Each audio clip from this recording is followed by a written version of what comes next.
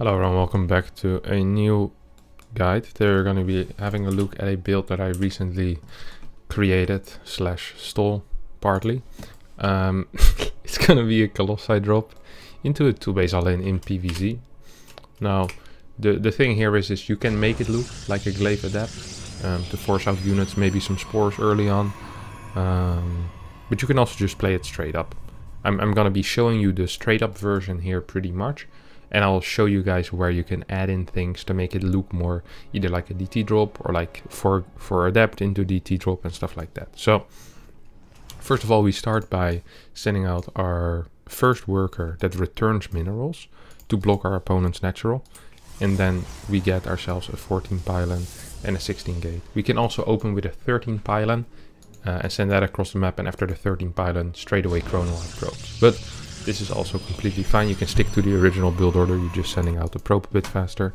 You see my probe arrives at uh, 45 seconds, which should be absolutely fine to block any kind of uh, expand from the Zerg. Now, we're gonna go on with a standard one gate expand with only a single guy in gas before Nexus start. So we're, we're gonna keep uh, 16 workers on minerals at, at, at all times basically literally the entire time there's going to be 16 workers on minerals. It's important to note. Um, there's some builds where you want to send two in gas at the start.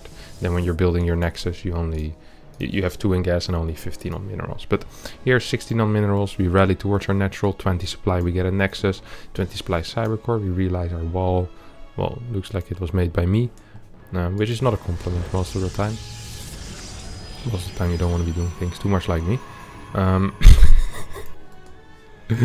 we got a yeah so 20 cybercore. You see two in gas. We rally this one back into the gas. And we can just be blocking the natural here scouting around a bit seeing if there's anything important here. Of course i'm playing against an ai very easy. But this is a pvz build by the way. I just realized i didn't mention that. So you might be able to do it against the other race but i would not recommend it. We follow it up with a standard 21 gas timing 22 pylon build order will be in the description below with the uh, Legacy of the Void spawning tool, of course. Of course. Um, you just rally back into gas. Always keep 16 guys on the minerals, like I said before. Now, the moment our Cybercore finishes, we start both Stalker and Warp Gate. Um, this is important because you want to use the Stalker to deny vision. Uh, scouting is for losers, so we're not going to be doing that with an Adept whatsoever. You can, you can go Adept Stalker. I just prefer Stalker Adept. Makes the game a lot easier to play. Then we follow it up with a robotics facility. And then ideally the moment this base uh, finishes, we send two probes down from our gas. Now if you're below diamond 1, don't bother with this. Just leave guys in gas and honestly just play the build. Like th there's gonna be uh, other things for you to focus on like sending putting the one chrono boost on the natural and if you are above diamond one you can attempt to mess around with the gas timings a bit makes the build a bit more tight but like i said it's not necessary now in order to fake a, a proper 4 gate glaive, you need to build your gateway at around 60 out of 100. No, sorry, 50, 52 or 50 out of 100 on the research of the warp gate. So try to keep that in mind. Um, it, it, is, it is kind of important if you want to do a proper fake. You're also going to need a second adept um, before the clock hits 70 out of 100 on the warp gate research if you don't care about faking, then just build them ASAP. Now, moment robotics facility finishes, we're going to be getting a robo bay. We make a small probe cut at 37 or 30, 36 maybe even, and we straight away start our prism. Okay. We also want to go back into gas at this point. I'm a little bit late with that, but it's okay. Um, you can build another pylon. You can build another pylon.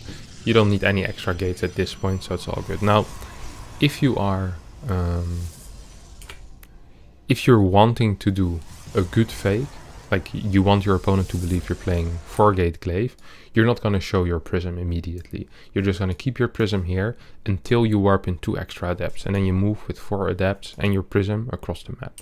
Now if you don't care about that you can just pick up these two adepts put them in the prism and you just go harass a little bit try to kill a drone or two with it.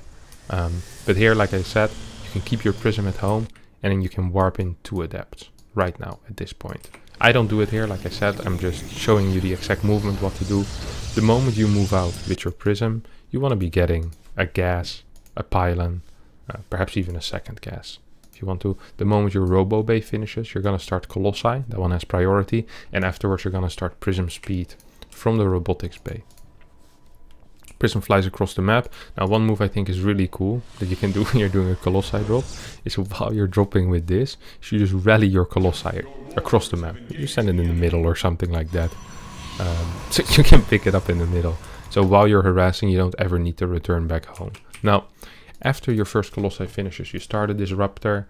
Um, once you're at 44 workers, which is perfect saturation, um, 16 on the minerals, uh, 3 per gas, and then on two bases. That's 22 per base, makes 44 in total. Um, any money you get at that point is going to be invested first in the disruptor that has priority, then into some extra gateways. You can go up to seven or eight gateways, doesn't really matter too much. Um, then into one immortal and, and just as many sentries and zealots as you can.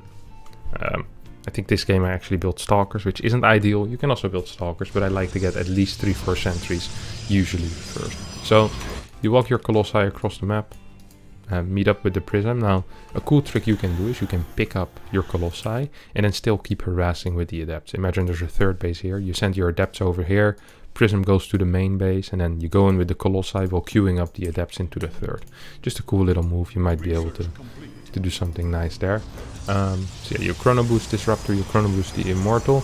I get up to 8 gateways and now I should be producing sentries rather than stalkers, but I do produce stalkers here, so that's a mistake. Sentries and zealots while you're harassing with your speedy prism and your colossi. Bumpy dumpy dum. You get a, an observer after this, and this is the point where you start moving out. Once you have these units, you just start moving out. You can still keep harassing, just A move this across the map. Um, you full wall behind it with a pylon. One less warping. You move out, and this is it. Now, at this point, what I like to do is you, you can really do two things. So you can either keep warping in units, more units, or you can also just start your next Colossi. The, the units, if you warp in units, you're going to give your, your push more of an initial oomph. And if you make Colossi, you're going to have a more uh, extended power. You're, you're going to have more power later on in the game. So you can get like three Colossi, you can get thermal lance, um, you're still poking and you're clearing creep, and sometimes you might be able to kill your opponent with the first one. And then together with your uh, disruptor, you can do a lot of damage on roaches and ravagers and stuff like that. It's a pretty cool build like that. So you walk in, bump it down, keep warping in, build a Colossi now. This is the time for trash talking, which is just actually lost to a Colossi drop. You kill all his workers, and then at that point he leaves the game. So pretty perfect. Let's head into a game where I played it on the ladder. And of course I managed to win. So uh, just have a look at that. Check out some movements. Um, just how to harass precisely. That kind of stuff. Alright, so this game I get completely spotted by Bly, who sent in an overlord and he sees everything. So instead of moving across the map, I decide, you know what, I'm just gonna kill this overlord with my prism and a stalker. That's also possible, of course. You don't always need to fake things, or you don't always need to actually do the initial harass. Um, so I killed two overlords. Get my extra gases. Just get my colossi out. Two gateways. Disruptor after this. You can also start with an immortal after this. Now he actually gets into my main base. This is another fantastic play, which I would not suggest to anyone. don't don't try that. This, this is why I like to play Stalker first. It makes the game calmer. And as long as you keep it on the proper hold position, nothing bad usually happens. actually got three worker kills there. That's a little bit sad. I didn't realize that. Um, is four worker kills. Jesus. That's a lot. So yeah, this build isn't going too hot this time around, but I'm just going to show you guys how I, how I think you should be moving around and how you should be trying to do damage with your Colossi most of the time. So what you're going to be doing is you're, a lot of the time you're going to be flying either where the lings are, and you try to do some damage on the lings, um, or you're gonna go behind mineral line so behind the third base behind the main and then you're just gonna keep flying. The problem there sometimes you can get cornered uh, sometimes there's spores but you can always try to you know do some damage on those drones. So you just right click the drones two shot and you kill them. Now if if lings come to to fight your colossi you usually want to fight those lings. If there's roaches you want to pi pick up and and piss off because you don't actually want to be fighting against roaches with your colossus. So like I said, Disruptor, Immortal, Cent or Observer, not Sentry. Um, and then you move out with your units. You can join up with the Colossi. And here I immediately start a second Colossi and I think I start my Thermal Lance as well pretty quickly. Right? Yeah, here we go. Thermal Lance. Um, and then you kind of start with your uh, with, with your attack. Now, always try to find a good angle for attacking. Usually at the third base is a nice angle. You can go here, but there's a very big angle here, a very big, a wide concave for my opponent where I don't really want to be fighting. So just clearing some overlords around the map. You can clear some of the active tumors as well if you want. If your uh, observer is there yet. I think I might have forgotten my observer at home, or where is it? Oh no, it's with my armies. Yeah, I can already clear stuff. Now, one thing that is important when fighting is that basically you don't really want to be fighting unless you're sending out a disruptor And ideally you first throw two force fields, so you capture some units, and then you throw the disruptor ball. So I'm actually not doing it perfectly here, because I first threw the disruptor ball, it hit nothing, and then I started doing some force fields. A lot of the time the best thing to do is throw a force field or two, catch two or three Ravagers, and then throw the Disruptor. Well, that's absolutely perfect. Now, make sure that when you're rallying Colossi across the map, that they don't get killed by any kind of flank, like Bly was doing here. Of course, you have the Prism to help with that. Um, just keep keep warping and stuff. And the funny thing is, this situation doesn't look too great for me, right? Like, what was my damage here? He killed more workers than me with lings than I did with a Colossi drop, um, which is not good. He's on 62 workers. He went straight spire basically because he scouted my robo bay. So in your mind he he might have the perfect counter, but because I just keep rallying colossi across the map and his eco actually isn't that great, my army is getting pretty powerful. And if I just hit one or maybe two disruptor shots that that hit like four or five roaches, I'm in a pretty decent spot already. So here we go. Boop. Three ravagers. Uh, that's good. And then you go back. There's no need to fight unless you have a disruptor shot. Like you only want to be fighting when you have disruptor shots or really good force fields. And in this case I had one good disruptor shot and then I got some pretty decent force fields. Then it's like, okay, time to go back, try a different angle. Because I was getting annoyed that he had this flank up and I had I had this thing here. So it's like, you know what I'm gonna do? I'm just gonna be uh, moving back for now. I catch part of his army on the map. And he's, he's getting a little bit ballsy, right? He's like, oh, whoa three colossi, that's cool, but I have a, a, lot of workers. Well, we don't really care about how many workers you have. We just, at this point, we just keep morphing in, or morphing in, warping in stalkers. At three colossi, I like to stop. You can add some disruptors. The problem with disruptors is you need to pick them up with your prism, because you have a full wall here, which sucks, obviously. Um, uh, here I, I managed to get a hit on, on two roaches. And you see how careful I am with using my sentries as well. Like, I'm not immediately using all my energy, because I only want to use my energy if I can either get a really good fight or for escaping. Don't stand into bile for too long either. It's not that brilliant. And then you just poke at him from a distance with your Colossi. You outrange him. If he wants to engage into you, that's fine. You have force fields. Um, so then you just use them. And you can target down the Corruptors if he does have those. Disruptor is coming for her. as well. This was an absolutely terrible shot again. So that's like my third shot that did nothing. Um, and here's the first time where I actually need to fight. But I already killed the Disruptor, the Corruptors.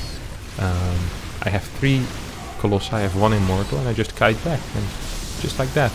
Um, I'm actually having a pretty decent fight here. I do lose my Immortal for free. Like, my Micro isn't even that great, honestly. I just kited back a little bit. It's not like I was dodging biles, I wasn't even picking up individual units that greatly my disruptor basically did nothing this entire game, but you know, this, this build just gives you a very powerful push and the only thing you need to be doing is be patient because you have units that outrange your opponent, which means every time you hit from a distance, like that's good, so the longer the fight the better. And also you have a disruptor which can shoot once every, what is it, 18, 21 seconds, something like that. So you always want to be trying to use that as much as possible and that's exactly what I did. Now we actually have some decent micro, but uh, I mean, it doesn't really matter, right? He's, he's gonna be absolutely dead. There's nothing left. Um, at least not compared to what I have. I always like to build a Colossi again if I lose one. Go up, back up to 3. I don't know why, but 3 seems to be such a magic number for me. And yeah, then you just kind of hope you win the game and hopefully your opponent GG's. Perhaps he doesn't because you've just been beaten by someone that is Colossi dropping. So yeah, Tools Worker, blah blah blah. I mean, I wouldn't doing that way better than my opponents as always. Single G. He forgot the second G, but that's okay.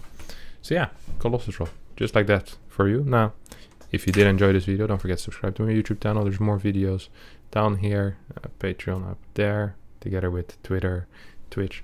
Don't forget I also use Instagram, instagram.com slash. Wouldn't mind hitting a thousand followers there. Wow, crazy. All right. See y'all next time and bye bye.